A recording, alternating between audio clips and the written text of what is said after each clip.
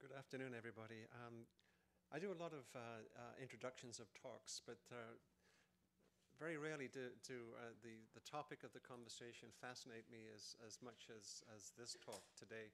Um, some of you who, who, know me will, will know that I'm, I'm, I'm basically myself a, a defrocked physicist. I, I, I, did physics in the 70s in protein crystallography before I moved up uh, 10 orders of magnitude in the, in the early 80s to start working on brain. So it's great for me to, to, to, uh, to get back and, and hear something about some of the stuff that I was learning in school back in the 70s. Um, uh, so we're, we're, delighted to have a, a, talk about basic physics, first of all, and aligned with that, a study of something that we're all fascinated with all the time, consciousness, what it, what it means to be conscious. So bringing these two threads together is something of particular uh, excitement for me. And to have someone of the stature of uh, Lucien Hardy to give a talk, I think, is a special, special privilege. Uh, Lucien did his uh, PhD at the University of Durham and then uh, bounced around Europe in Ireland and uh, Rome and Innsbruck doing various postdocs, was uh, ERF fellow at the University of Oxford before he moved on to come to the Perimeter Institute. And those of you who know, the Perimeter Institute is one of the world's leading uh, institutions for theoretical physics and uh, quantum computing in particular. And Lucien has a, a, strong background in uh, quantum theory at one end, general relativity at the other end, and the potential integration of these two uh, grand uh, theories in, in the notion of quantum gravity. So I don't know how much Lucien will get into, into that per se. He's going to focus more on what quantum effects might have to tell us about consciousness. And obviously, what we're interested in is uh, what could we do ourselves to uh, find ways to measure consciousness and, and uh, get a, an exploration into the inner workings of the human mind in a way that uh, I think is probably the fundamental question of, uh, of uh, human existence. So, with that said, it's a pleasure to invite Lucien to give this special Ludmer Center lecture. Lucien.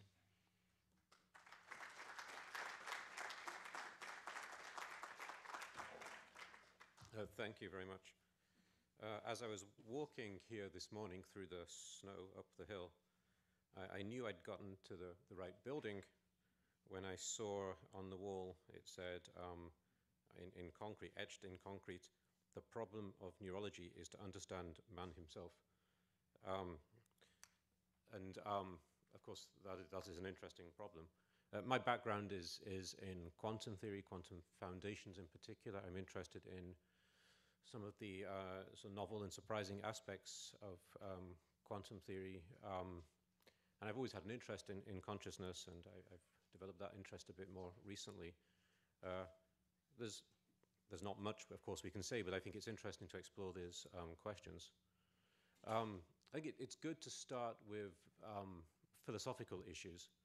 Um, in quantum foundations, we often start with philosophical issues concerning uh, uh, reality, the nature of reality. Uh, here we're talking about consciousness, so let's look at some of the philosophical issues in uh, consciousness. Um, and uh, let's begin with a quote from Irving Ludmer.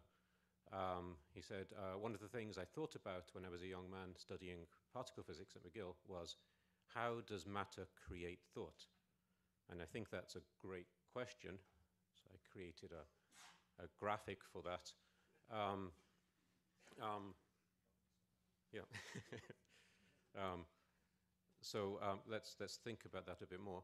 Uh, well, here here um, in in this center, um, uh, Alan and uh, and, and uh, collaborators elsewhere have uh, this big brain data set. so this is they've taken a brain of a 65-year-old man um, and um, sliced it up into into 20 micron um, uh, slices, and there's several thousand of these slices, and then they've imaged them, and then you can go online and you can look uh, at this brain. Uh, uh you can you can go down into down to the 20 micron uh, level and see all the detail of this brain. So this is an extraordinary um, um, an extraordinary achievement, and it's a, a, a useful um, thing to look at if you want to understand the brain. And we could ask ourselves, you know, how, how, far could we take this? What would be the the holy grail of um, this kind of approach, uh, the neuroinformatics inf uh, informatics holy grail. Um, and so here's an idea. The holy grail could be, incidentally, this is the holy grail taken from um, one of those um, um, Indiana Jones films. Um, this is the one uh, the, at the end he drinks from. so the, the, holy grail could be to have a, a non-invasive video imaging technique a sufficiently high resolution, say one micron, so that would be the, below the resolution uh, of, so you'd be able to see the neurons, uh, so that we can see all the pertinent details of the brain with small enough time step, because this is a video imaging technique, between subsequent images. So I'm not sure what that time step would be, maybe at the millisecond uh, level.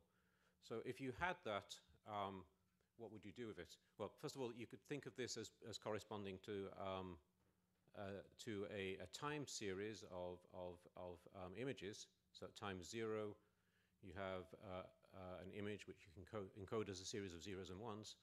Then at time one, you can do that and so on. So you'd have a, so your data set could correspond uh, to this series of zeros and ones. Okay. Well, one thing you might want to do with that would be um, to uh, associate uh, it with brain function.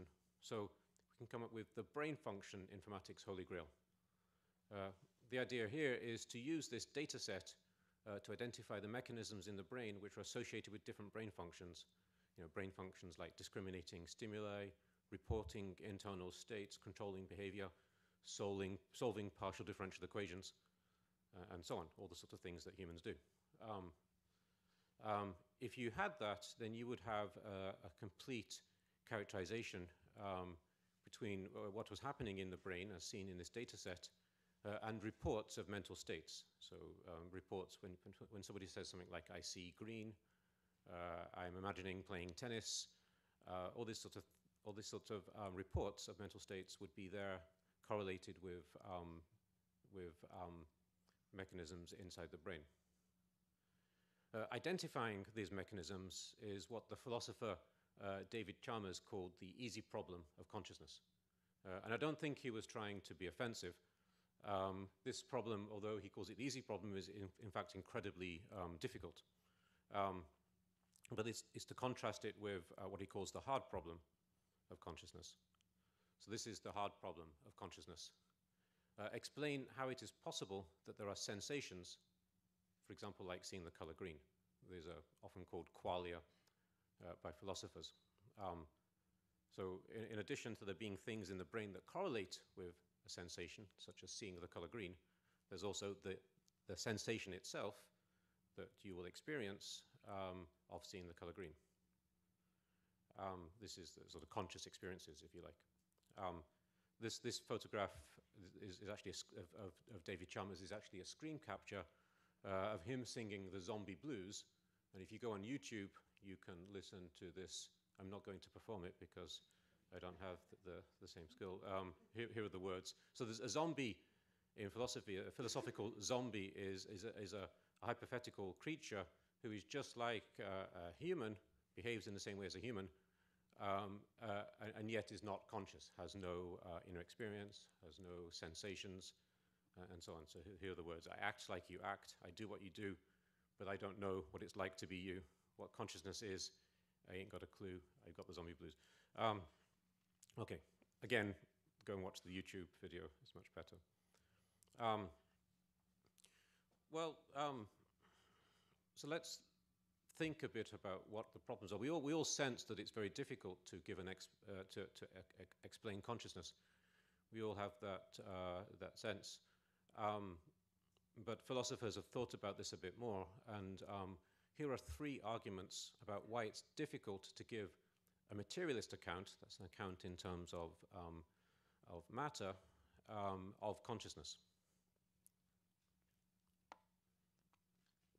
So the first um, problem is, is, um, is the explanatory argument. The kinds of explanations that we um, typically have in materialist, in materialist accounts do not appear to be suited for explaining the emergence of something like consciousness. Um, it seems hard to imagine how consciousness emerges uh, purely, say, from the complex um, behavior in, in, brains. Not necessarily impossible that that could be the case, but it's hard to understand how the argument works. Um, the second argument uh, has to do with the, the, zombies I just mentioned. Um, um, so this is the conceivability argument. If it's possible to logically conceive of zombies, philosophical zombies, creatures that behave like us uh, but are not conscious, um, then um, the, the thing that is the explanation of consciousness cannot be in the sequence of brain states because it's possible to conceive of creatures having the same sequence of brain states which are not conscious.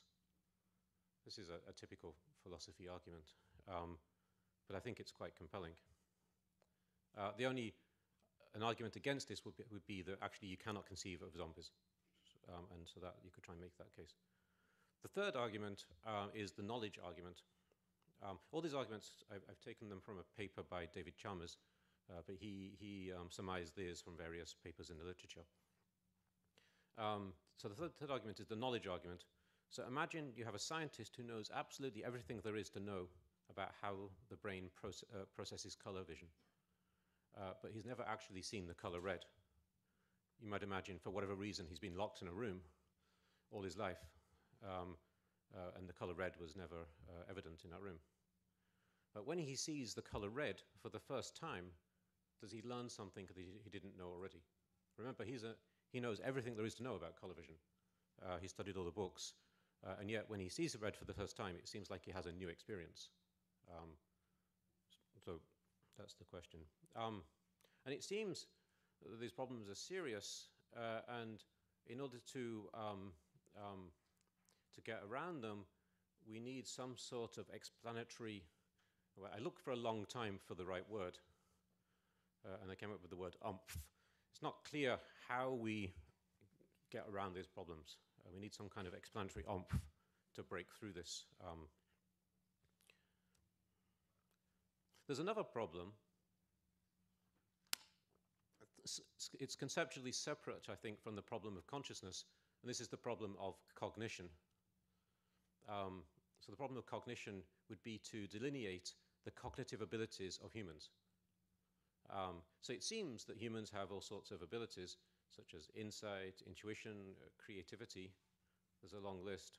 Um, and, and, these, and, and, it's sometimes argued that these are abilities that computers uh, uh, uh, don't have and couldn't have in principle. So Roger Penrose, who you see pictured there, has argued that. Uh, and here is an example he gave. This is a chess problem. Um, uh, and um, it's, it's white's move, and white has to try and play for a draw. So apparently, when he gave this chess problem to uh, uh, computers, you know, the computers that had beaten humans uh, in, in, games, uh, the computers did the wrong thing, and they, they, made it so that white would lose. Um, but actually, you can see that um, all white has to do is, is move uh, the king uh, on the white squares, just keep the king on the white squares, uh, and, and, and, and, then white can never be uh, checkmated. And so this is something that humans can see very quickly. And then the argument is, well, okay, we, we could, we could um, build computers that would, see, would be able to solve this problem, but then uh, Roger argues, well, that may be true, but I can come up with another problem that will beat those computers. Uh, and so is it the case that um, that computers um, could never have the cognitive ability of humans? That's a, a question. Um, we can imagine simulating the brain with a, a computer that lives inside a, a robot's head. Uh, would this, would this uh, simulation be conscious? Would it have thoughts? Would it have sensations? Would it have the same cognitive abilities uh, as a human? These are all questions uh, we can ask. Okay, let me talk about um, quantum theory. Um, and here is the most basic um, experiment in quantum theory. If you understand this experiment, then you understand the heart of quantum theory. So we have here what's called a quantum interferometer. Uh, we have in the circle with an S inside it, that's a source. It has a button on it. You press the button and it releases a particle, a quantum particle, like an electron, for example. And then the electron arrives, and it arrives at the first um, beam splitter, Okay, that's the first um, line just here. Uh, and, and, then it's possible for the electron to take one of two paths. It can either go along, along uh, path one, or along path 2. So path 1 is here, or path 2 is here. And then it arrives at the second beam splitter, and then after the second beam splitter, there are two detectors, C and D. Um, so here's an empirical fact about quantum theory. Uh, if the difference between these two internal path lengths is zero, so if this path length 2 is, is exactly equal to this path length 1, uh, then the particle is always detected at, at, at detector C. Okay, you can do a calculation. This is a prediction of quantum theory, and this has been seen in experiments. Um, on the other hand, if the difference between the path lengths is equal to a certain amount, um, the, the wavelength associated with the particle divided by 2, then the particle will always be detected at D. Um, okay, so that's a prediction of quantum theory that's been borne out in, in experiments. Um, now, if you imagine this particle is going along and it only goes along one of the paths, how could it possibly do that? So let's think about it. Let's imagine the particle goes along, it takes path 2, and then it arrives at this beam splitter, and now it has to decide I'm, I'm talking um, as if the particle was thinking. Um, just the, the, now, now the behavior has to be such that the particle either goes into C or D. If path length 1 is equal to path length 2, it has to go into C. If, on the other hand, path length 1 is different from 2 by half the wavelength, it has to go up to D. But since the particle didn't go along path 1, it has no way of knowing uh, what that path length is equal to. So there's no way it can, uh, it can do this. It can't reproduce this behavior I've just described to you. Um, and this, this, is, this is one of the mysteries of, um, well, a mystery of quantum theory. This is, this is something that happens in quantum theory. And it seems like the only way to explain this is to say that something goes along both paths. So usually in quantum theory, you say, well, there's actually a wave function, um, and, and part of the wave goes along the path 2, part of it goes along path 1, and then these two waves meet at the, at the second beam splitter, uh, and there's uh, wave interference that determines whether it goes into paths into, into this detector or this detector. Um,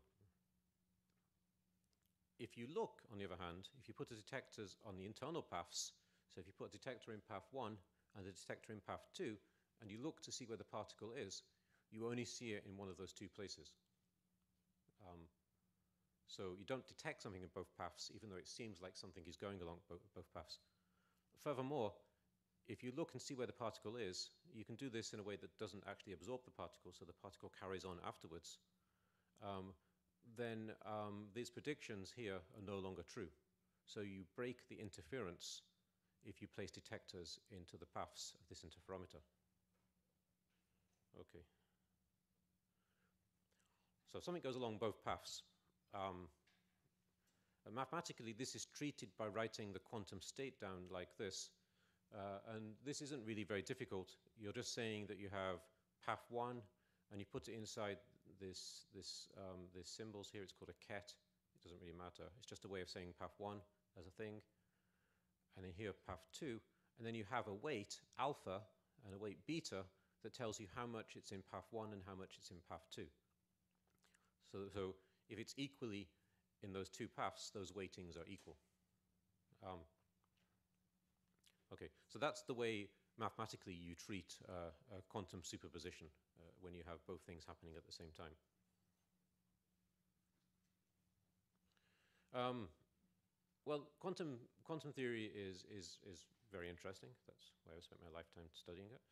Um, uh, there's, there's all sorts of facts, and of course I don't have time to, to go through and give you a full introduction to quantum theory. Um, well, here's a few, here's a few facts. Uh, if you have a quantum system given to you, it's impossible for you to determine all the information that is in its quantum state. Okay, if you, um, if you, you can measure some of that information, but you can't extract all of it. Uh, also, you can't clone quantum states. So if somebody gives you a quantum system and they don't tell you what state it's in, it's impossible for you to produce a second system that has the same state without destroying the first system. So you can't make, you can't clone quantum states. Um, any measurement you do make on the quantum state will disturb the quantum state. Um, any, any measurement that extracts information. There's, there's lots of interesting um, quantum phenomena. Uh, here's one example, quantum teleportation. So I told you that you cannot clone a quantum state, uh, but nevertheless, there is a way to make measurements on a quantum state in one location and, um, and then reproduce that information, the quantum information uh, about the state in a different location. Uh, and you use that, to do that, you need something called quantum entanglement uh, and classical communication. Uh, so I mentioned this example because um, uh, Gilles Brassard, who's at the University of Montreal, and Clau- Clau- Claude Crepeau, who's here at McGill in the computer science department, are two of the authors on, on this paper. It came out, I think, in 1994, a very significant paper.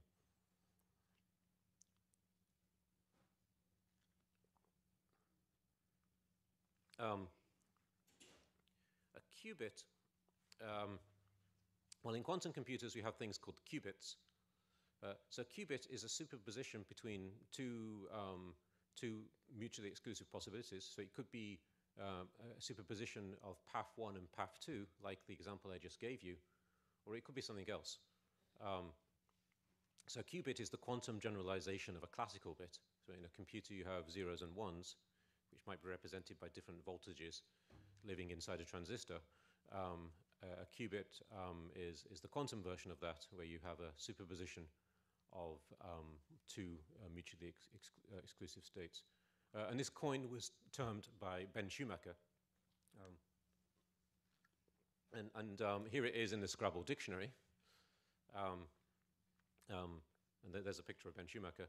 Uh, I was quite pleased with this slide, so I sent it to Ben Schumacher, uh, who responded almost instantly.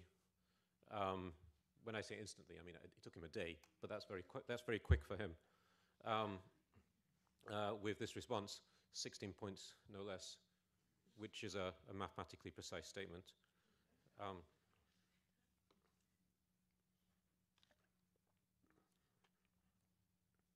um, so in a quantum computer, you have lots of qubits, uh, and they interact with each other, um, and, um, and you act on them with, with quantum gates. So here is, is a sort of picture of a quantum computer.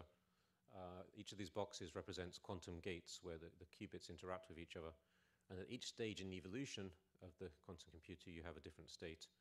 Uh, I've represented here, you see a state now you have lots of qubits, so you have a superposition of, of, of, of different states for those qubits.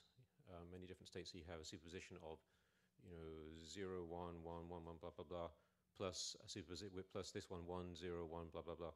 Um, so in a quantum computer, you have these uh, superpositions um, of many different um, um, underlying states. Um, I've, I've, got photographs here of, this is Richard Feynman and his David Deutsch. They're two of the pioneers, the early pioneers of, um, of the theory of quantum computation. What can a quantum computer do? Well, a quantum computer can effectively perform many calculations in parallel. Because you have this superposition of, um, of the um, underlying um, uh, the, the, qubits, um, it's, sort of, it's, it's, as if you're calculating, you're doing the calculate, many calculations at the same time in parallel. Um, you can't actually look at the outcome of all those cal calculations in parallel. Uh, if you make a measurement, then you just see the result of one of them, uh, and you lose all the information about the others.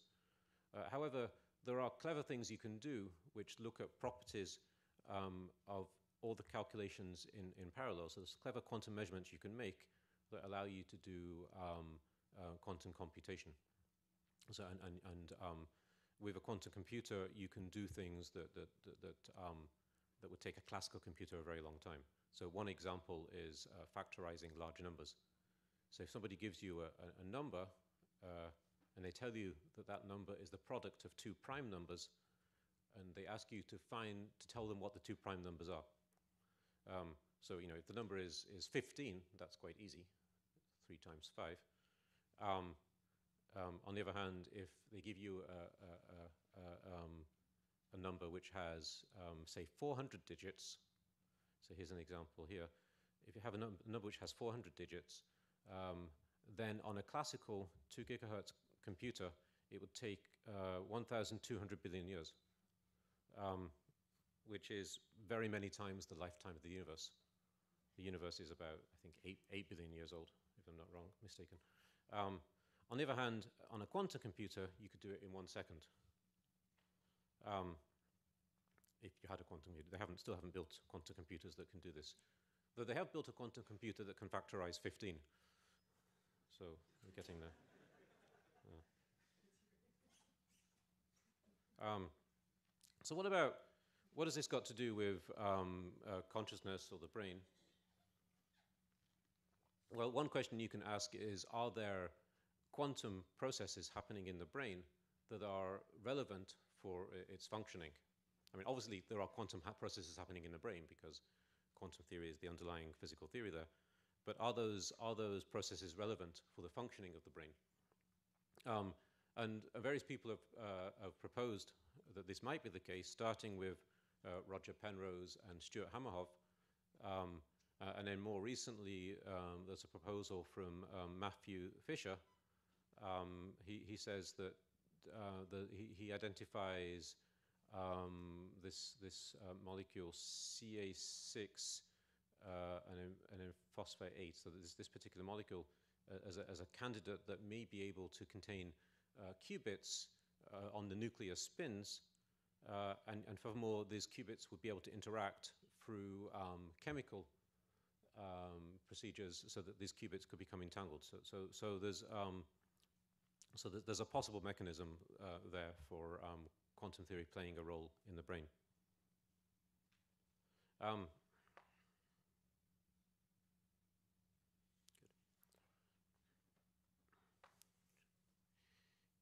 if it is the case that quantum theory is um, playing a role in brain function, um, then um, then what would we do? What would be the the the, the task uh, for um, um, for uh, neuroinformatics uh, laboratory.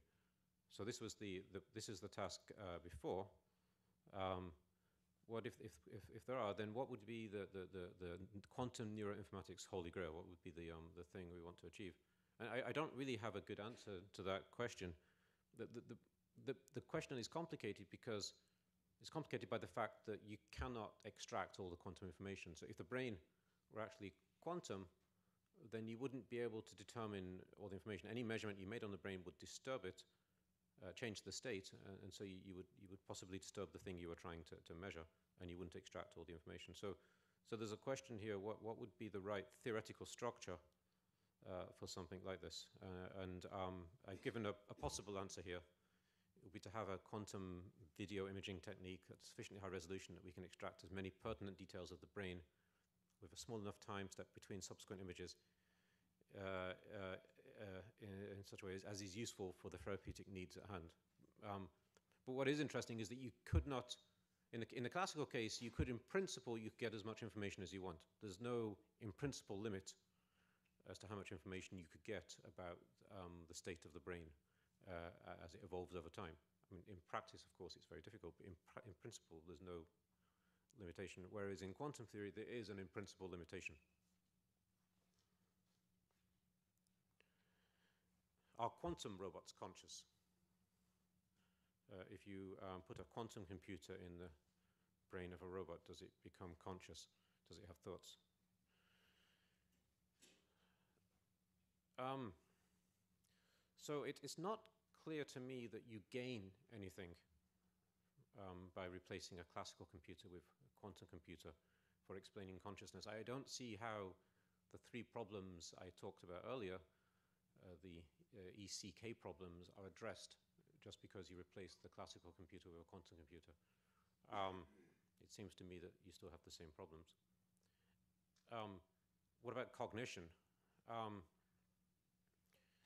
so quantum computing in the brain would allow humans to complete some tasks much more quickly. So um, tasks like factoring large numbers. Um, um, but it doesn't change the classification of what is computable in principle. Um, so any, anything that can be done on a quantum computer can also be done on a classical computer. It just might take a lot more time. Um, doesn't change the uh, in principle classification of what you can do. Um, there's also the question uh, of, of whether it would be to any evolutionary advantage to actually have um, quantum computing in the brain. I mean, if it was, then, then, then there would be strong reason to suppose um, that, that it was happening. But um, you know, factoring large numbers isn't something you normally have to do to avoid getting hit by a bus. Um, so um, there's, there's that question. Um, the quantum no cloning theorem I mentioned earlier offers an interesting perspective on human identity. It's impossible to clone a quantum state, so whatever quantum state you have inside your brain cannot be copied. Uh, it's impossible to make um, an identical copy of, of, of you. Um, what about quantum gravity? Um, so quantum theory isn't the final theory, probably, of nature. Uh, um, that um, quantum gravity may be a, a, further step in that direction. Let me explain what the problem of quantum gravity is. Um, so general relativity was the theory developed by Einstein. He completed that task um, over 100 years ago in 1915. And I think it stands as one of the supreme intellectual achievements um, in, in, the history of ideas. Um, it's a beautiful uh, physical theory, um, both conceptually and, and mathematically. Um, in general relativity, space-time is curved. So if you have a mass, um, then space-time around that mass will, will, will become curved. Um, not just space, but space-time. And what that means is that causal structure is dynamically determined uh, by the distribution of matter.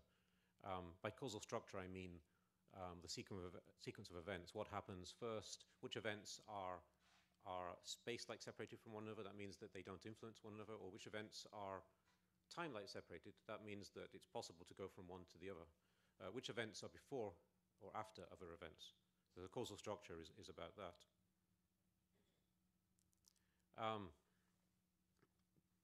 the problem of quantum gravity um, is to find a theory, maybe a new theory, that reduces in appropriate limits to general relativity on the one hand and to quantum theory on the other hand. Um, the holy grail of fundamental physics, I would say, is to find the correct theory of quantum gravity.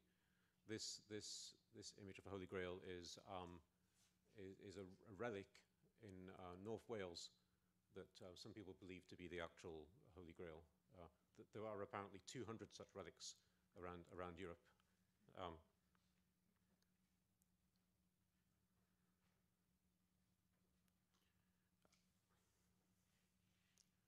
so um, so let's think about that a bit.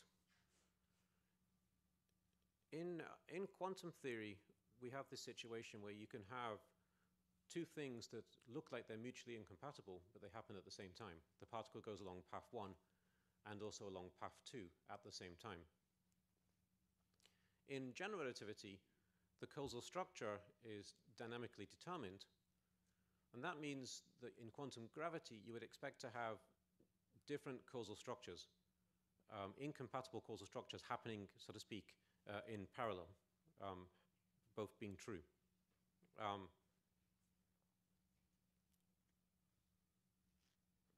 yeah, so, so in quantum gravity, we expect that there is no matter of the fact as to what the causal structure is. Well, actually, we expect that there are many matters of the fact as to what causal structure is, uh, all uh, simultaneously true. Um, and uh, I call that indefinite causal structure. This is where you, you can't say um, if two events are space-like separated, so they don't influence each other, or if they're time-like separated. Uh, you would have something like a quantum superposition of before and after, and after and before. If you, if you had this, then you would no longer be able to think of having a sequence of time steps at a fundamental level. This is a very basic idea that we, we, we we have that, that, um, that you can imagine uh, the universe as, as, as um, evolving through a sequence of time steps. But fundamentally, it looks like quantum gravity is telling us that that won't be the case. So why have I told you all this?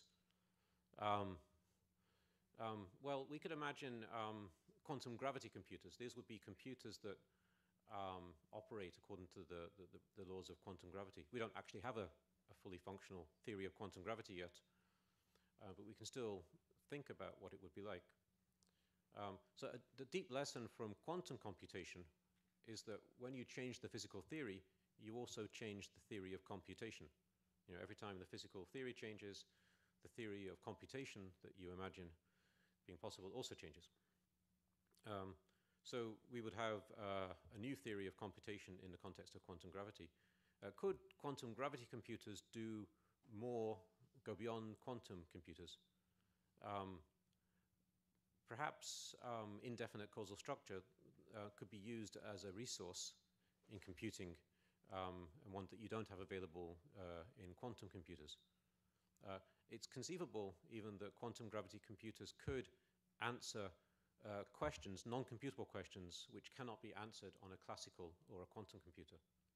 Uh, this is all, of course, wild speculation since we don't have such a theory, um, but we can ask these questions. Is the brain a quantum gravity computer? Um, well, one, one way to ask that question is to look at the, the, the scales involved.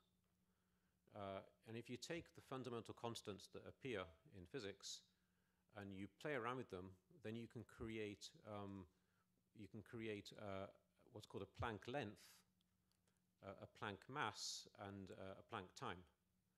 And the Planck mass is, um, well, 2 times 10 to the minus 8 kilograms, about, so 2 times 10 to the minus 5 grams, which is about the mass of a grain of sand. It's actually quite, you know, it's quite big. You, you can see a Planck mass. Um, and um, this is likely, this is likely going to be the scale, the mass scale at which we see superpositions of different causal structures. In principle, this could happen in the brain. Uh, again, speculation, but in principle, this could happen. Could quantum gravity explain human cognition and consciousness? Well, on the cognition front, um, um, then we're perhaps in new territory. Uh, if you no longer have this picture where you have a sequence of time steps, um, then perhaps uh, these computers uh, could do things that, um, that classical and quantum computers cannot. You might think of this as being um, a bit like being able to see into the future a little bit. Um, if you have indefinite causal structure, then, then, in the vicinity of some point, then, um, then, then uh, these, these events would somehow be connected that might normally be regarded as being in the future. I'm talking in heuristic terms here. Um, so on the cognition front, it's conceivable that quantum gravity could help. Um, consciousness, can you explain the hard, uh, can you solve the hard problem of consciousness? Can you, um, um can you make any progress on, on those three questions I raised? Uh, I, I, don't see how that works. I, I don't see the explanatory umph. Um, Okay, let's, um, let's talk about some more philosophical issues. So, so far we've talked about what you might call materialist accounts of matter. Um, but philosophers have talked about many different sorts of, sorry, materialist accounts of consciousness. We talked about um, accounts of consciousness in terms of matter. Uh, but philosophers have talked about uh, a broader set of possible accounts. Um, so here, here are the, the various sorts of accounts uh, of consciousness that uh, you can find. Um, so the three basic um, uh, accounts of matter of consciousness here in this table. So accounts of consciousness that only have matter, you could think of that as being um, materialism. This is um, just, just you know, like, the standard sort of model of physics. Um, and then you want to, um, you want consciousness to somehow be emergent. Um, and, and, that kind of account of consciousness faces the, the hard problem uh, and all the very several problems I mentioned. Um, but it's still, I think, where most of us are. Most of us think that this is ultimately the way to go. Uh, but it's worth considering uh, other ideas. Philosophers have talked about panpsychism. This is still a materialist account, but in addition to the normal properties associated with matter, there's also some sort of fundamental consciousness uh, property you know, that, that lives there in, in, the fundamental theory. So you don't have to have consciousness emerging because it's already there in, in, in, in the fundamental theory. And, and philosophers do, do um, think about that. Um, And then the other kind of account is where you have both matter and you add something. Um, and this will be mind-matter duality. So this was perhaps you know, more popular um, in, in, in earlier centuries. The sort of um, uh, René Descartes talked about um, th this sort of approach. Um, um, so you imagine that you have matter and then you have mind as, as, a, as a sort of ontologically distinct, um, when I say ontologically, I mean it's some, something that's still real, but it's ontologically distinct as, as different thing, and that uh, minds inhabit conscious systems. So from a scientific point of view, this sounds like a very radical idea, and it's, it's a long way from, from where most of us are. Um, on the other hand, uh, it's an idea that we can consider, and so I want to do that a little bit. Um, if we if we take one of these accounts of consciousness where um, where, where there's something added to the theory, um, then here's an argument against um, what the philosophers call in this context uh, epiphen epiphenomenalism. So you might argue that um, that, that, that, that there is a mind uh, and a brain, but the mind, all the mind does is observe the brain. It doesn't in any way influence uh, the functioning of the brain. It's just some sort of passive observer. Um, here's an argument from Euan Squires, who was actually my PhD supervisor. He, he points out that the word consciousness appears in the dictionary in black ink.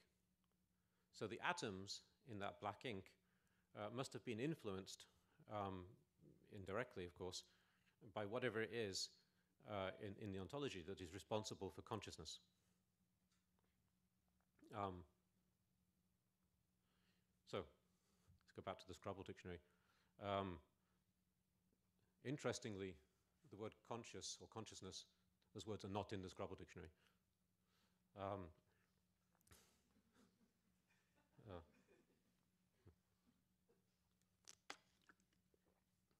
uh, um, which tells us that Scrabble players, like Ben Schumacher, are, are, are zombies. Um, but since the word consciousness does appear in good dictionaries, we can conclude that the, the behavior of matter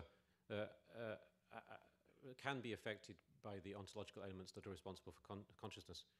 If we take seriously a sort of Cartesian dualist point of view, then we tell a story in which the mind acts on the brain and thereby imparts information into, sort of, into, into the sort of the, the world of these atoms, the physical world corresponding to these atoms, and then somewhere down the line, that leads to a certain configuration of uh, atoms, of ink atoms in a dictionary. So the atoms uh, inside the brain, if you tell that kind of story, then, then the atoms inside the brain it, itself would have to actually violate the laws of, of, of physics. Um, uh, we could attempt to look inside the mind to actually see this. You know, so here's a picture of um, Alan Turing. Um, we can imagine looking inside the mind to see uh, if we see some violation of quantum theory or whatever um, we regard to be the correct theory of physics. But it's very difficult to do an experiment like that. How would we know uh, if the atoms were really violating quantum theory? It's a very messy environment. We wouldn't have control over the initial conditions, so we couldn't really say anything. Um, so I want to propose um, a, a, test uh, for mind-matter duality. It's, it's, it's, um, it's not something I think, um, I mean, it's a test we can do, and um, in fact, I, am going to talk about an actual, uh, an actual um, uh, collaboration on that experiment. Um, but it, it's not something I think is really going to turn up to prove mind-matter duality, but it's a way of thinking about this question. Um, so I need to tell you a bit about Bell experiments. Um, so in a Bell experiment, you have um, a source of particles um, and they're entangled. So you could have two qubits, for example, and they get entangled, they interact with each other, and then they separate out. And then you make measurements at each end. And the way it works is that at, at, um, at one end, you, at each, at each end, you have a, a choice of measurement. It's a setting. Uh, and then you make the measurement, and then you have an outcome for that measurement. So you have that same situation at each end.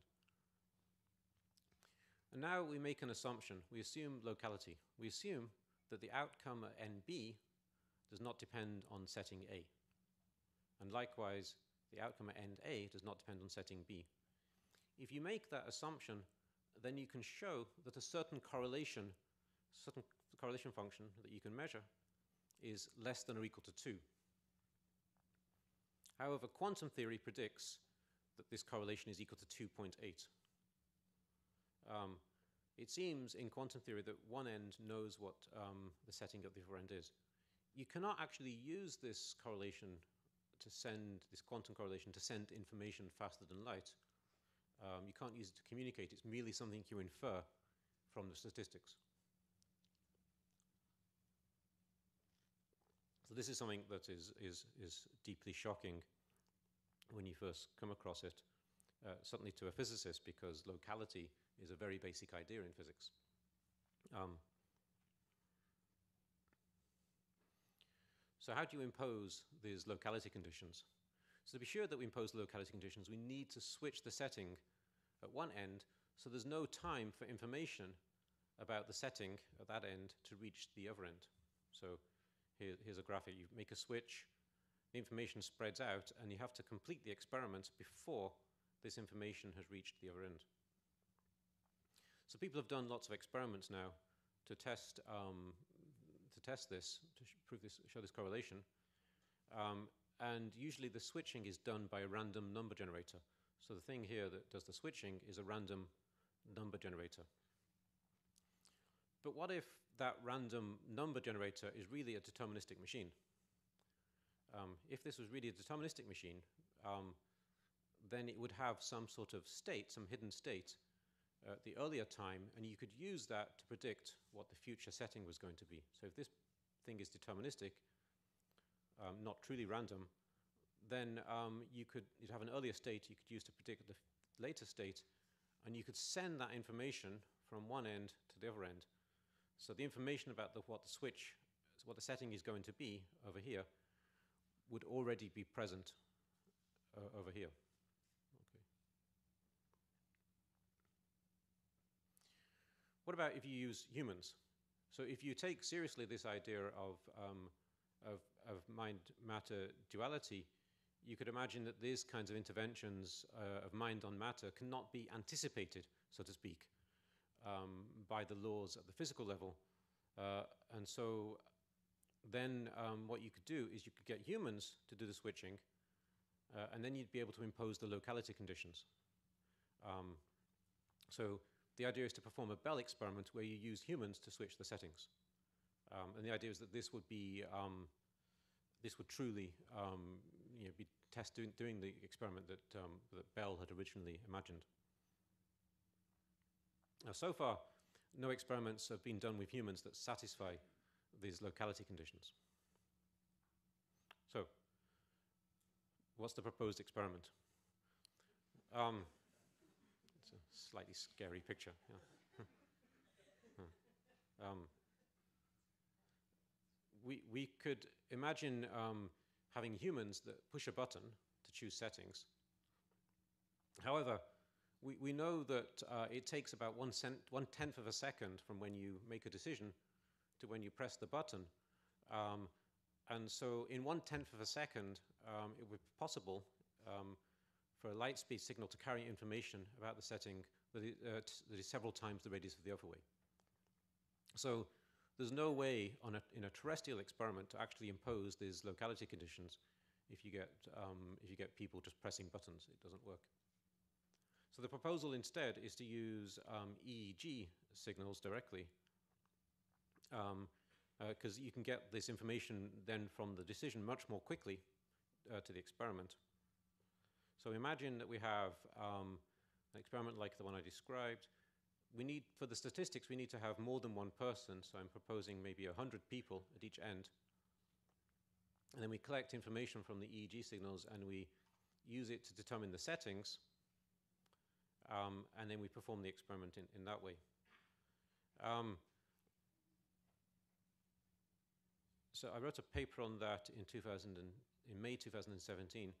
If you suppose that the, the, um, the entanglement is over about 100 kilometers, which was the record at that time, and you have 100 people at each end, and you imagine that people are able to perform about 10 switches per second, um, then you'd see a 1% effect which is not very big, but just about uh, resolvable. Um, but then um, I'll talk about the beginning of a collaboration on an actual experiment. Uh, uh, in July 2017, this paper came out. This is a satellite-based uh, entanglement distribution over 1,200 kilometers, um, which is um, which is kind of remarkable. So they have a satellite on the satellite. They have a source of pairs of photons, um, uh, and those photons go. Well, I'll show you a picture in a minute. Those photons go to base stations, and they're able to um, do a, a, test of the Bell experiment without humans so far, um, um, which is significant, uh, statistically, statistically, significant. So this is the group. It's the group of Jianwei Pan, um, and the person I've been speaking to is is Yuan Ying here. Um, uh, so this is this is really an extraordinary um, advance on what was possible before. So here's the satellite that they launched. Um, and here's how it works. So you have the, um, the satellite up there. It transmits pairs of photons, uh, which can be picked up at these telescopes, uh, ground stations. Um, the satellite goes around the planet once per day. And so every night, um, the satellite is in the right position for about 90 seconds. And during those 90 seconds, you can um, you can get about 90 um, events. Um, so one, one, one per second. So the statistics aren't very good, um, but nevertheless it's strong enough to, to see a violation of Bell inequalities. Um, so if we had this kind of distance and 100 people at each end, and we imagine a 10 hertz uh, per person switching rate, then we could expect to see close to 100% effect of the sort I'm talking about.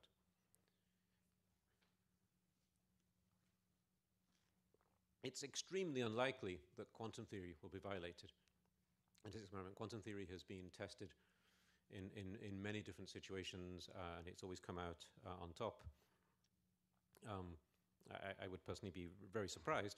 Uh, on the other hand, if quantum theory were violated in this situation, then it would have very radical implications for our understanding of human mind, and also, incidentally, for our understanding of fundamental physics as well. It would tell us that um, physics was fundamentally local, uh, and also uh, that, that physics was in some sense super deterministic, which is, um, you know, in, in order, um, the idea that, that the early, the, the, there's, there's switching, there's um, devices that switch the setting.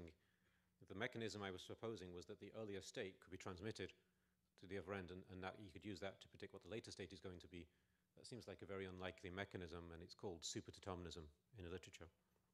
Anyway, um, but nevertheless, this is an experiment we can, we can do.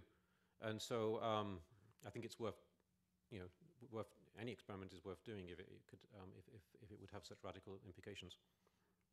Okay, so conclusions. So first of all, uh, uh, uh, from the point of view of this talk at least, a more practical conclusion, which is that if quantum phenomena are pertinent to brain function, then eventually um, neuroimaging needs to um, find a way to probe these quantum phenomena. And this raises challenges as we cannot extract all quantum information. Uh, so we have to ask questions about what, what would be the approach here, what, what information would we extract. Um, quantum computing and, and perhaps quantum gravity offer new ways to look at consciousness and cognition. My, my feeling is that neither of them really offer a way to solve the hard problem of consciousness. Um, um, but there, there, may be some light spread on cognition, perhaps if you go beyond quantum theory to quantum gravity. There are deep philosophical problems with providing an account of how matter creates thought. Uh, uh, even if we evoke um, um new uh, models of computation, um, how you solve the hard problem of consciousness is still opaque to me. So yeah, that, that's, that's the question. That, that sort of motivates perhaps considering more radical ideas. So one radical idea is, is, is, is something like mind-matter duality, and I, I proposed here uh, an experiment. Um, even though it's very unlikely that quantum theory would be violated, I think this experiment at least offers us a, a way to discuss these sorts of radical ideas in, in, in a more scientific way. Um, What, one thing I, in the abstract I, I said I was going to talk about, but I realized preparing the talk I didn't have time, was uh, to discuss how agents are central in, in the mathematical formalism of quantum theory. Uh, quantum theory is a very strange theory when you start to study it. And you see that it, it seems to evoke uh, a notion of agents who both make choices uh, and, and, um, and observe outcomes. So the quantum state has, provides um, information about mutually incompatible choices agents might make. And why does it do that? Why does the quantum state tell us about different things that agents might do? Um, uh, and then also the quantum state is, is affected by observations. Uh, I don't have a I don't have an understanding of, of what this means as far as consciousness is concerned, but it, it may be something uh, that we can think about.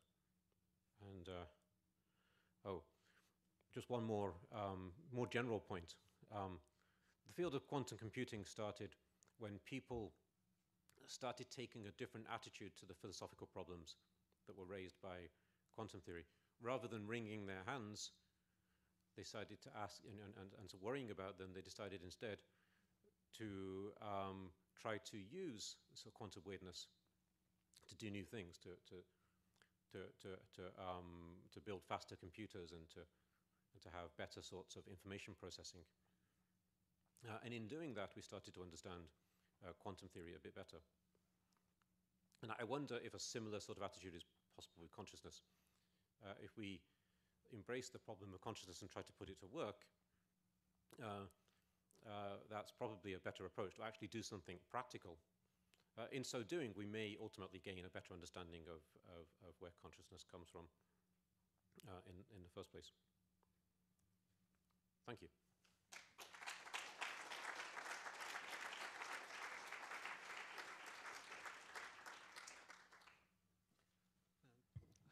Fascinating stuff.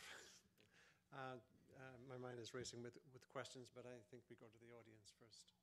Questions, please? Right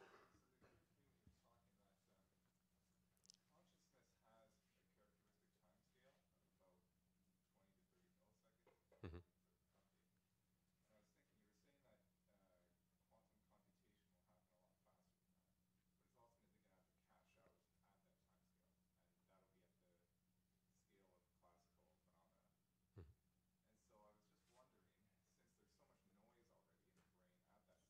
Mhm.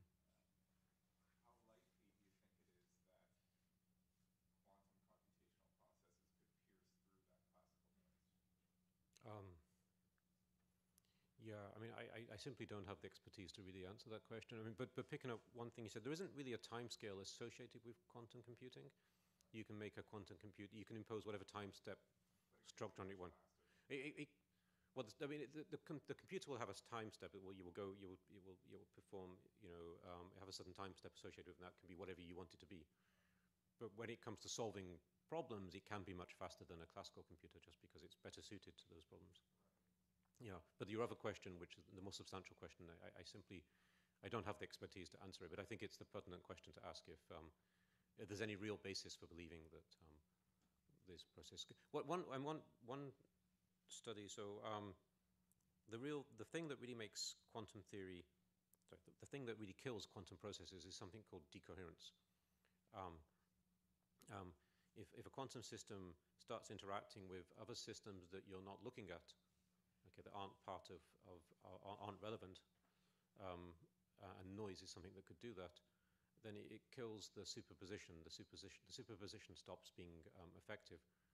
Uh, and so a quantum computer would be very quickly um, would very very quickly reduce to just an ordinary classical computer if if if there's if there is a lot of decoherence uh, and, and interaction with noise would, would do exactly that. And a, a guy called Max Tegmark did calculations showing that um, showing that um, um, well, claiming to show that you couldn't really have quantum computation in the brain.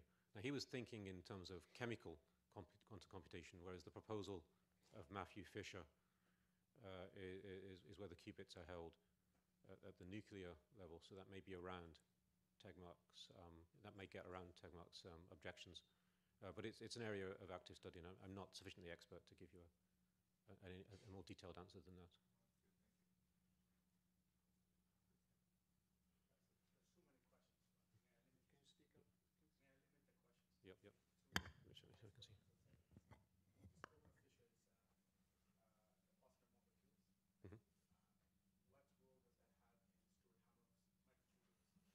I think they're just entirely different mechanisms. So um, um, I, um, mm, I think neither neither people tend to support the other mechanism. So so the objection to the microtubules is that um, is that um, these decoherence effects would um, would would kill quantum coherence. Now Stuart Hameroff doesn't believe that. He thinks that you can have quantum coherence in these microtubules, um, whereas Matthew Fisher thinks, I understand that that, that that interaction with the environment would very quickly kill um, the quantum uh, coherence. So you'd get quantum decoherence.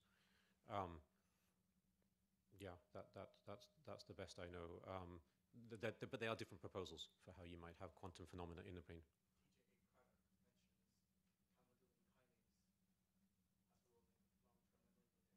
Okay. Uh-huh.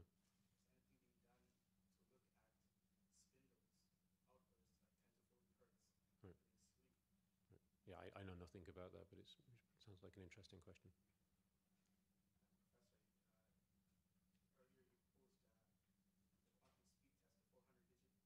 Mhm. Um, yeah, let's see. Um, so you're talking about the computational complexity of solving this protein. Yeah, I've, I've heard people talk about this.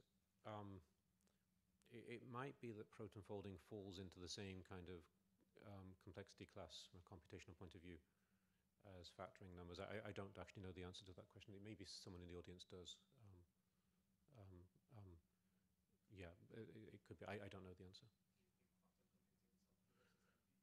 Yes. Yeah. So there's, well, no, it solves. It, solves, it doesn't solve PF versus NP, but it, it it's um it's a it's a more restricted thing than that.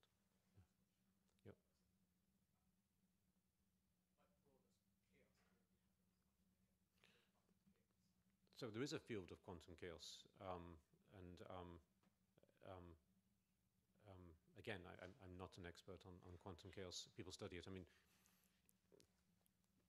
classical chaos is quite different. It's where you, you have um, chaotic behavior, but it's actually fundamentally deterministic. It's just extreme sensitivity to initial conditions. So it appears to be probabilistic, but fundamentally it, it's not. It's deterministic. Um, and that's quite different from the sort of the sort of uh, statistical behavior you see in quantum theory, where it's fundamentally um, probabilistic. There's no way, in principle, of of um, determining what's going to happen um, when you make a measurement in quantum theory. Um, yeah, about the field of quantum chaos, I, I don't know, I don't know much about it. Mhm. Yeah. Yeah. So certainly, so there are.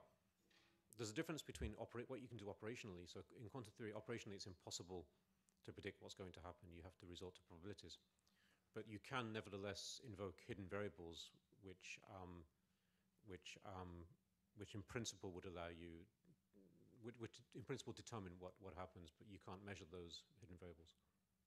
Okay, I think we have to stop and give other people a chance. uh, for that. Yes, I'm a, a psychiatrist and psychotherapist, and I'm sorry for the very naive question. Yes. But uh, there are these, uh, what we call today, uh, uh, therabots, uh, which is therapist robots, which actually can uh, uh, check the, some of the changes in the face of the patient Mhm. and they answer in the way, like it's artificial intelligence, AI, they answer in a way that reflects, uh, sort of uh, reflects back to the patient what the patient is telling Mhm. the robot. Uh, so I, I'm just wondering, uh, as, as I was listening to you, I was wondering if Hmm. like quantum mechanics or physics Hmm. have a role in artificial intelligence Hmm. it's sort of because I can um, Hmm. think or imagine Hmm. uh, that if we were to go even further and capture the uh, speed of changes Hmm. of what we see, um, it, I mean, it wouldn't make it consciousness, but it would make it much higher level of responsiveness on Mhm. the part of the self. Just wondering what your thoughts. Yeah, I mean, these are all good questions that I don't know the answer to. Um, the- the yeah. Do we, do we need to update uh, the Turing test? Oh, right, yeah. Um, I mean, in some ways, the, the experiment I proposed was a, was a, a sort of inverse Turing test almost. You have, um, you know, in the Turing test, you, um, you, um, Turing was trying to show that you, you know, ultimately computers could do the same as humans, and that, I think that was the result he was hoping for. Um, uh, and in so doing, he invented the theory of computation. But um, um, whereas here I'm proposing a test where, where, um, where um, humans would do something that, but that, that, that machines could not do. Um, yeah, but in terms of if it has a role in, in, in- therapy, I, I, I, I, don't know the answer to that. I think it's, yeah, it's too, I think it's too soon, yeah. yeah. Questions over there. Uh, the the gentleman in the back first. Yeah, you, and then the, ge- and the gentleman in front afterwards. So, if I I'll do. understand correctly, your proposed experiment is to, to see if the Brave actually is more than a quantum computer, it's this quantum gravity computer, Uh, right? No, no, I would say, I would say there's a, there, there- there was a, those are distinct parts of the talk. So the quantum gravity, so the experiment was different from that. So in, in, the, in that part of the talk where I talked about quantum computing and quantum gravity, I, I was, I was just talking about how if you change the physics, then your theory of computation changes also. Uh, and, and that may shed some light on, on questions to do with consciousness and cognition. Um, and then when I talked about the experiment, that was uh, really an experiment to test a radical idea that there may be a, a duality of, of mind and matter, sort of, you know, in some ways a, a, a, pre-scientific idea almost. Um, uh, and, but we could do an experiment and, um, and, and, and uh,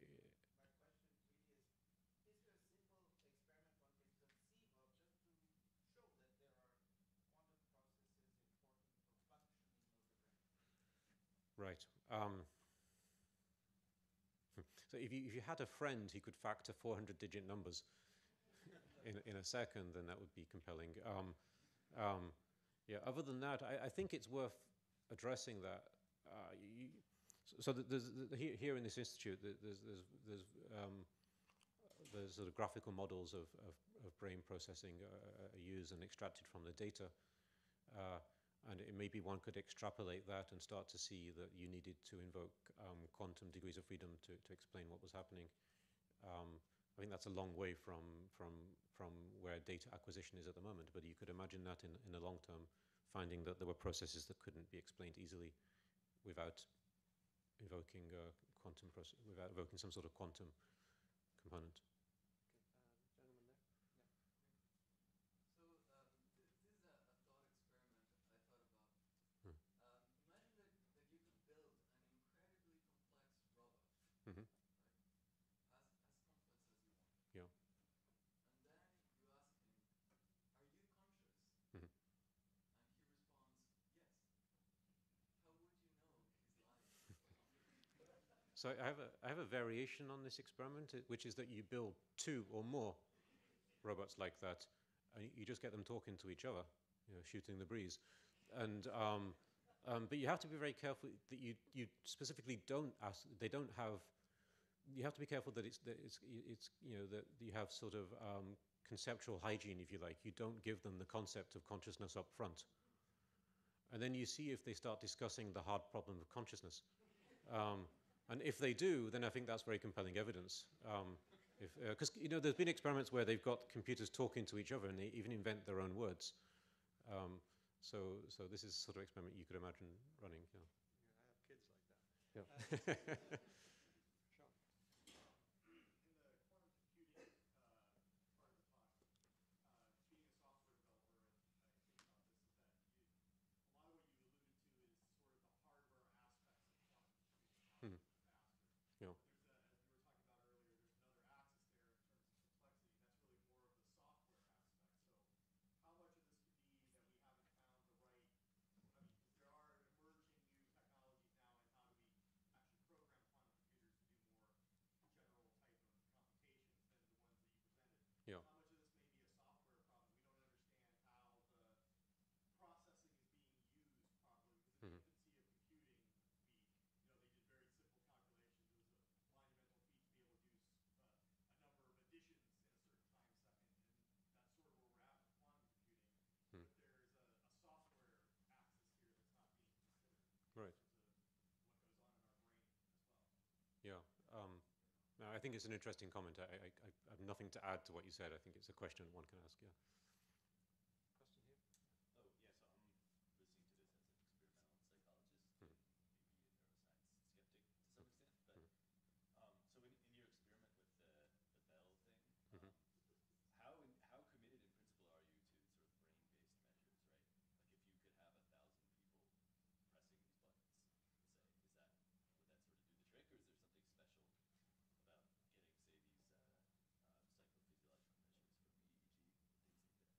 It's really a question of um, speed. Uh, you need to get, so the experiment, um, if it's 1,200 kilometers wide, then um, um, that corresponds, so light, um, so it takes light four microseconds to travel, uh, I think I'm the calculation right, to travel that distance. So you've only got four microseconds, you've got less than four microseconds to extract the information from the, um, the participant. I mean, even with EEG signals, um, it's quite difficult because you can't discriminate different EEG signals on that timescale. Uh, it takes about 100 microseconds to do that.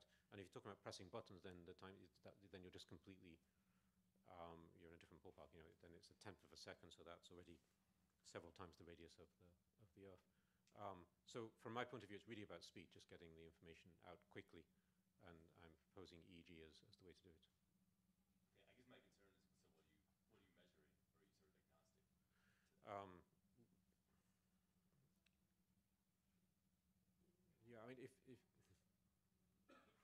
it, it would be it would be nice to, to know that we were measuring the right thing. It would be a, a, a tragedy if the experiment was done and we're measuring the wrong thing and, and, and, we didn't see the effect and uh, we, we missed this. Um, you'd, you'd want to be measuring something that corresponded to, you know, choicey behavior. You know, humans making decisions because that's that's the kind of thing we expect to be related to to um, to to um, to, to be the, the right kind of thing that might be might provide these sorts of um, you know mind on brain interventions, but um, but in in the absence of a theory, it's just it's just guesswork and uh, um, yeah. Um, I have a bit of a philosophical question, Mhm. but it emerged, emerged from this concept of deep coherence, where Mhm. you said, you know, interaction with the environment kills Mhm. superposition. And there's this well-known argument that's, um, you know, differentiates knowledge from wisdom, Mhm. and that knowledge kind of makes us dumber, actually. Mhm. Um, and my question for you is, how do you think acquired knowledge uh, about ourselves and about the world Mhm. impose these certain limits or molds to the way we think and solve or and approach questions? Mhm. Um, and how does it affect our consciousness in the sense that does knowledge impose limits on our computational abilities um, so that we um, look at the questions in a certain way um, and that limits our results, our computational results? Okay. Um, yeah, I, I feel like the question you're asking is a, is a, is a deeper one than I'm. I can I can think of an answer for in such. the, uh, uncertainty principle? Are we, are we perturbing the very thing that we're trying to understand by trying to understand it? That's what Okay. you're saying? Exactly. Yeah. Right. Because Yeah. we're all coming from very different Yeah. backgrounds, Yeah. and we might have a different approach to the same question. Yeah. But, but does our knowledge and our background actually limit our ability to see Okay. all different permutations Mhm. um, that a quantum Mhm. computer can create? Oh, and okay. perhaps impose limits on our thinking and our consciousness Mhm. um, and the potential that our brains, potential uh, permutations and Mhm. solutions our brain can generate. Mhm. Yeah. Um, yeah. I think I think. So this this is a good question. I I I think I have to get back to you. I think I it's a don't little know, bit, yeah. little beyond the scope. I will take three more questions and then I think we have to stop uh, here. Um, so when you talk about the quantum interferometer, in, yeah. In quantum interferometer. Yeah. um, so the moment you release the electron, Yeah. um, you can't really tell where it is unless you measure it. Yes. Then at the end, you're going to measure it, and then you lose the superimposition of states. The superposition. Yeah. That's right. Yeah. Yeah. So, um, when you were talking about the indefinite causal structure, Yeah. um,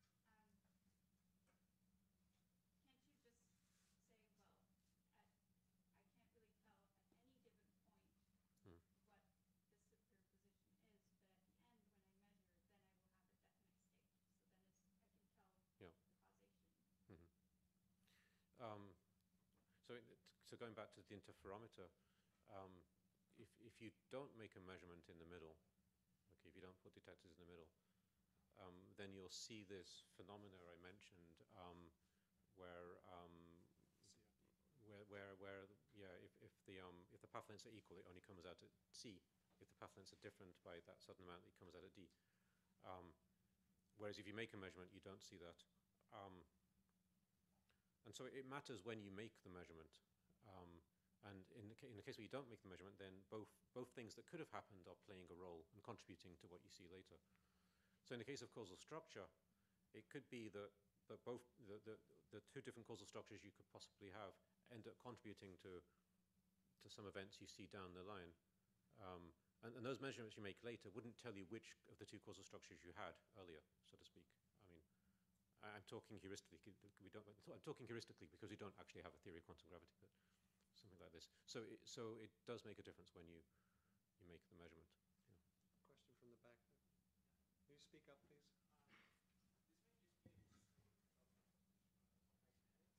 Mhm.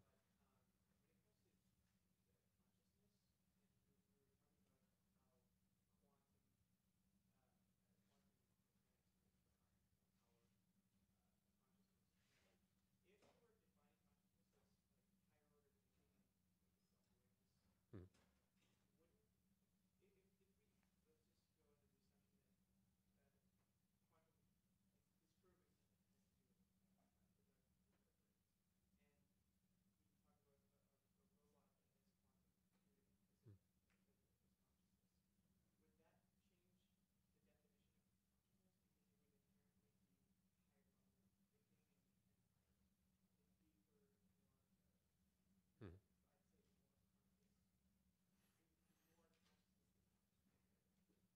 So you, you're asking if um, by, by making uh, a computer quantum, if, if um, you, you'll change your definition of consciousness in, some way. Um, I mean, it might change the sort of conscious experience experiences we'd have, you know, what they are. Um, you know, um, you know, sometimes people joke that you know that, that they often feel very fuzzy anyway, and that's because their brains are, are, are quantum. But uh, you know, maybe um, if if we were somehow directly aware of quantum states, we would have a different set of experiences than the ones who have um, if it's just a classical uh, state. Um, yeah, so that that's possibly true. Um, I, I still don't see how you actually solve the problem, the hard problem of consciousness, but that's a separate question. Uh, well, I would say the last question. I'm sorry. Thank you. There must be a, We, we've got so many other questions we can't. Hmm. there, there must be a locality phenomenon that occurs. My question is also philosophical in nature. Thank you for a, a brilliant presentation. I bring back to the question that you quite rightly pointed out, that the indefinite uh, concatenation of causalities brings us in, in the case that the uh, experimental proof uh, true would impose a deterministic uh, structure on the universe.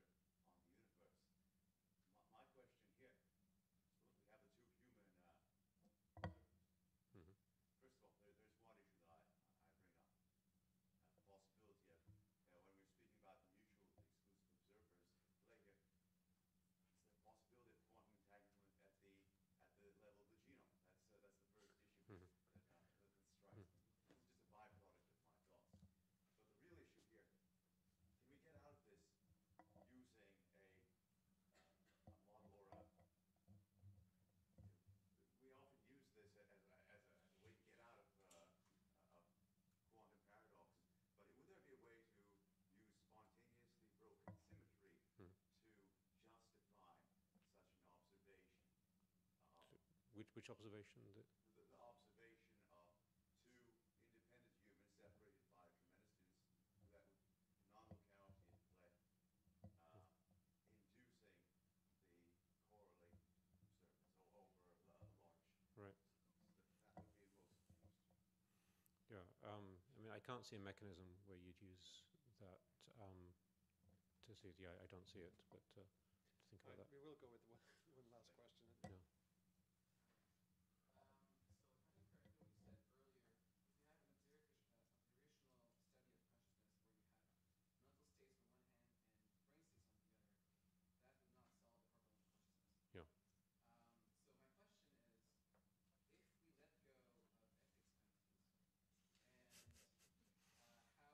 my question is, if we let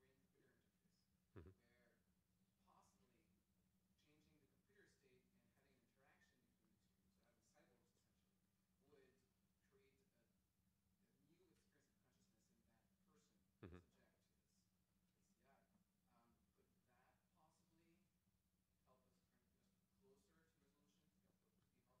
ethics penalties and Um, so certainly I can imagine those kinds of experiments helping us determine if, if quantum theory was playing a role in, in the brain. You know, if you if you had some auxiliary quantum systems attached to the brain, if that if that if, if quantum theory was playing a role, that might actually help um, processing. Um, um, so on the cognition front, it, it may shed some light.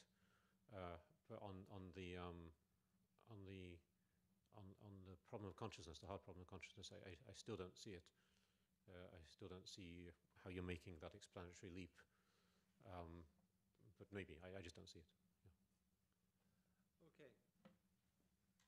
So, um, I think you know, life imitates art. I think we're uh, getting closer and closer to uh, asking the ultimate question of life, taking 4.2 million years to answer the question. The answer is 42. As- how many? Yeah, I was, wondering how many people would understand that reference. But, uh, I think this has been a, a fascinating excursion in, into uh, some very, very uh, wild ideas that I think we all find rather fascinating. And we talk for hours over beer, but we have to stop now. And uh, uh, Dr. Hardy is around for a couple more hours if people have burning questions they want to, to get at. But uh, for now, thank you very much, Lucien. Fabulous talk.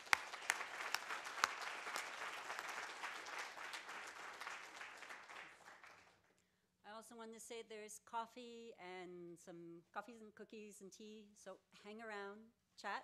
And again, thank you very much for coming out. And one of the things I'd like to do is just take a photo to put out onto Facebook just to show everyone how many people actually came out today. Thank you so much. And follow us on the Ludmer Center if you want to come to more of these types of lectures. They are, most of our lectures are free, and you're more than welcome to join us. Okay. Smile, everyone. Now look like you're having a good time. Thanks.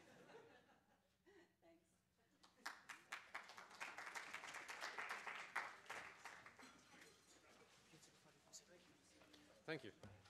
Hope it wasn't too speculative, but uh, Well, I mean, these kinds of things, as I said, are, they fascinate people. They, they, uh, you know, sometimes people go off the rails. right, yeah, that's the but- worry. So, and it's a hard okay.